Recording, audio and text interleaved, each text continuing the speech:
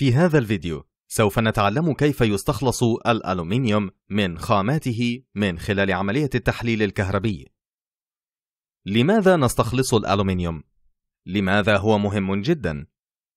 حسنا، الألومنيوم الذي يكتب بالإنجليزية ألومنيوم وألومنيوم له عديد من الاستخدامات المفيدة في الصناعة وفي الحياة اليومية، وعليه فهو فلز مهم من الناحية الاقتصادية إنه خفيف الوزن وقوي ومرن وعلى الرغم من تكون طبقة أكسيد على سطح الألومنيوم بعد تعرضه إلى الهواء لفترة من الوقت فإن هذه الطبقة الواقية تحافظ على قوة الفلز وسلامته وتمنع الفلز تحتها من التعرض إلى مزيد من التآكل حسنا من أين نحصل على الألومنيوم النقي؟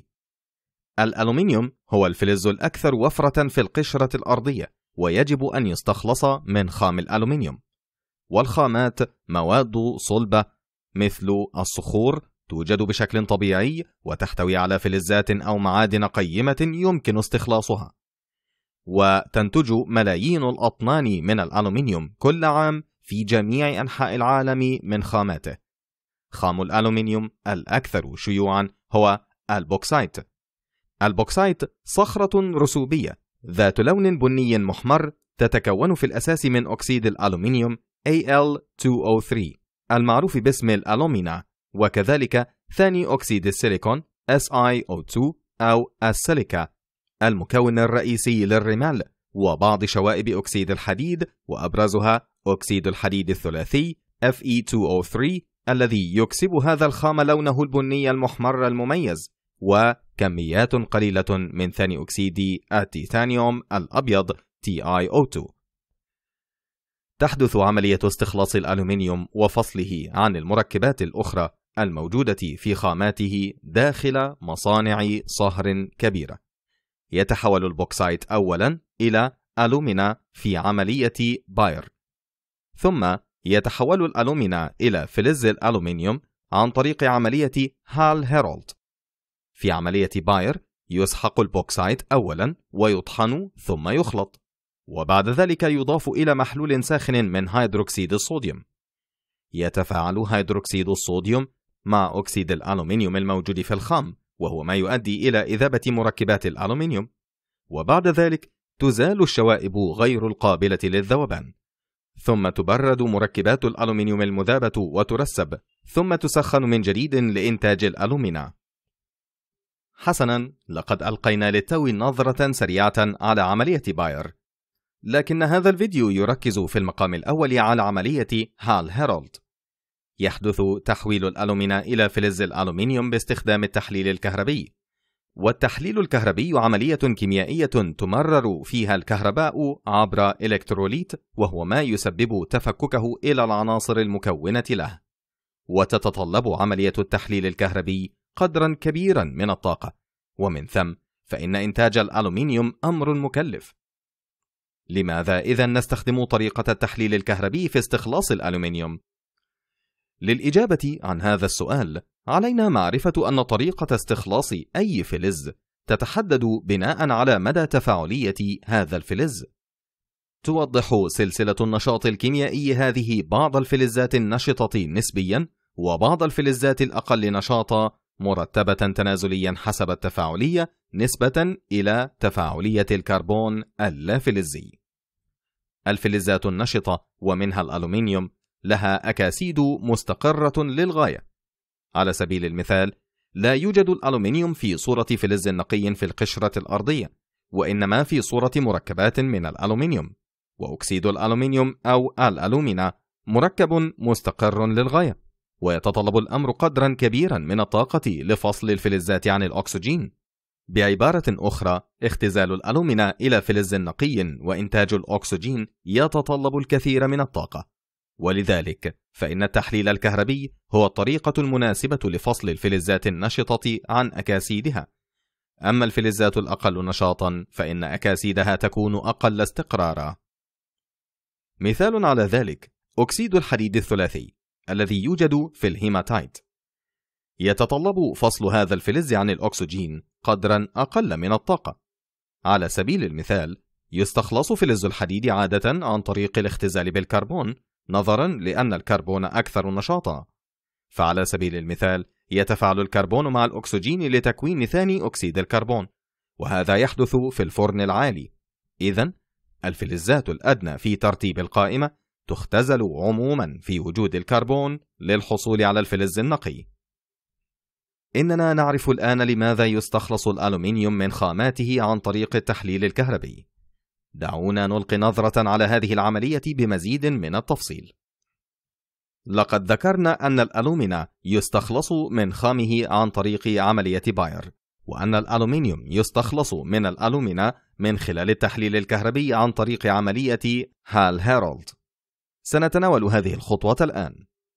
يوضح الشكل مقطعا عرضيا لخلية هال هيرولد الإلكتروليتية وهي تتكون من طبقة خارجية من الطوب المقاوم للحرارة ثم غلاف من الصلب.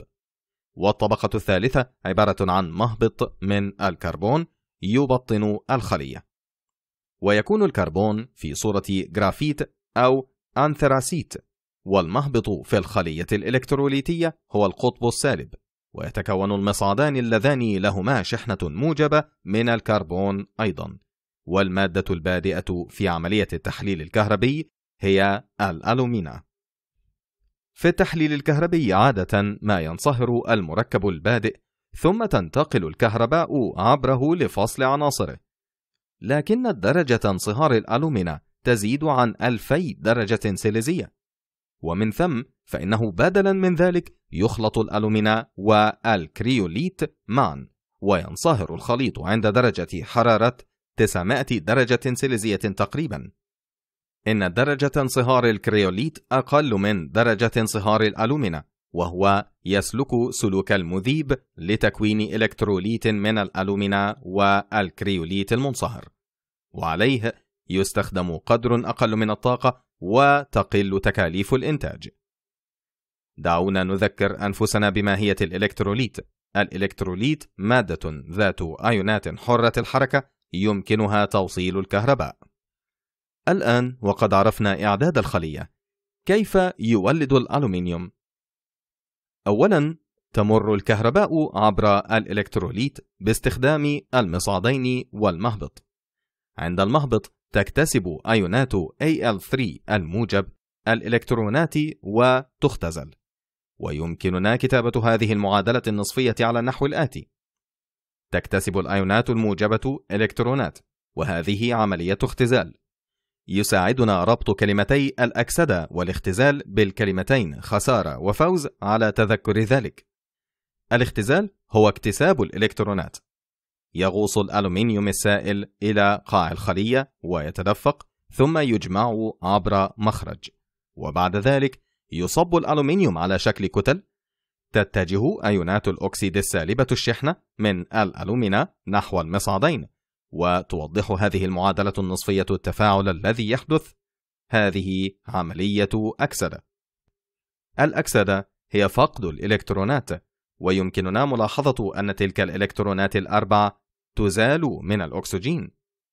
في هذه العملية ينتج غاز الأكسجين ويتصاعد على صورة فقاعات يتفاعل بعض الأكسجين مع الكربون عند المصعدين في درجات الحرارة الشديدة الارتفاع تلك.